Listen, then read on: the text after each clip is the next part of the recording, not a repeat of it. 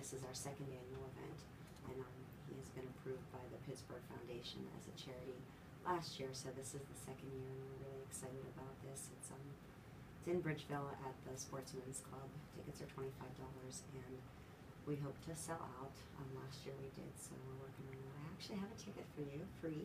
No, I, I would love to, um, I would love to contribute and donate. I think it's a, it's a great cause because it's preventable. I mean, this is what is It is amazing. preventable. It's a disease that a lot of people aren't aware of. It looks often like scoliosis, and Mhm. if it's caught early enough, it can absolutely be pre- prevented. And um, and Doug is, you know, my age, very young, and Very, very he young. has a morphine pump in him because he's in excruciating pain.